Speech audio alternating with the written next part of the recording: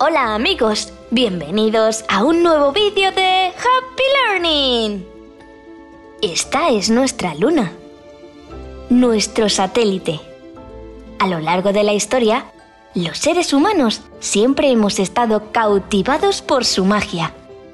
Primero la consideramos un dios. Luego la utilizamos para marcar el tiempo y las estaciones.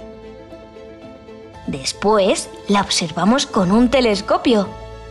Y finalmente quisimos tocarla.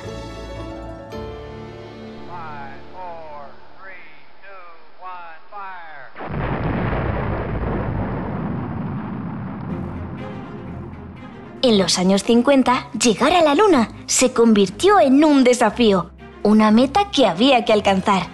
Las dos potencias más poderosas del mundo en ese momento, Estados Unidos y Rusia, se dispusieron a lograrlo. Así empezó la carrera espacial.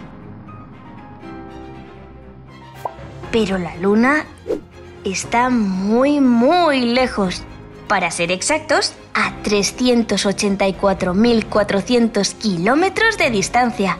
Eso vendría a ser como dar 10 vueltas completas alrededor del mundo. Pero claro, viajar por el cosmos no es lo mismo que hacerlo por la superficie de la Tierra. El hombre tenía mucho que estudiar, miles de cálculos que hacer y un montón de tecnología que desarrollar. Y todo para salir de nuestro planeta y enfrentarnos a lo desconocido. Los primeros en intentarlo fueron los rusos, con una perrita llamada Laika. Seguro que habéis oído hablar de ella. Laika fue el primer ser vivo en orbitar la Tierra. El viaje demostró que se podía sobrevivir en gravedad cero.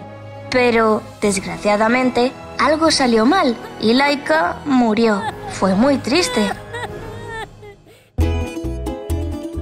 Pero los rusos no se dieron por vencidos y lanzaron la cápsula Vostok 1. Esta vez tripulada por un astronauta llamado Yuri Gagarin. Yuri logró dar una vuelta entera a la Tierra y estuvo en el espacio durante 108 minutos. Fue el primer ser humano en ver el mundo así. Ya estábamos más cerca de tocar la luna. Luego fue el turno de una mujer, Valentina Tereshkova.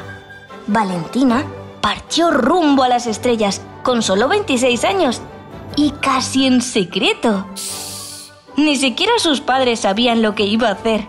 Estuvo en el espacio tres días y dio 48 vueltas a la Tierra. ¡Uf, qué mareo! A su vuelta fue tratada como una heroína. Era la primera mujer astronauta de la historia.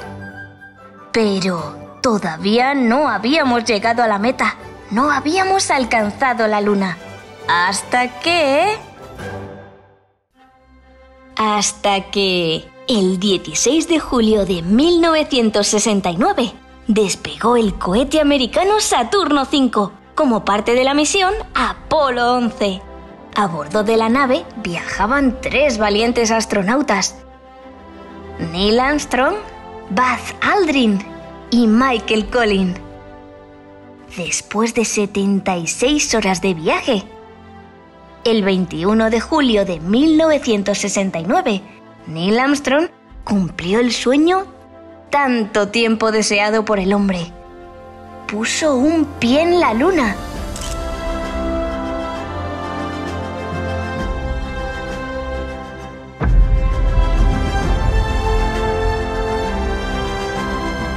Sí, sí, pisó el suelo de la luna y dijo.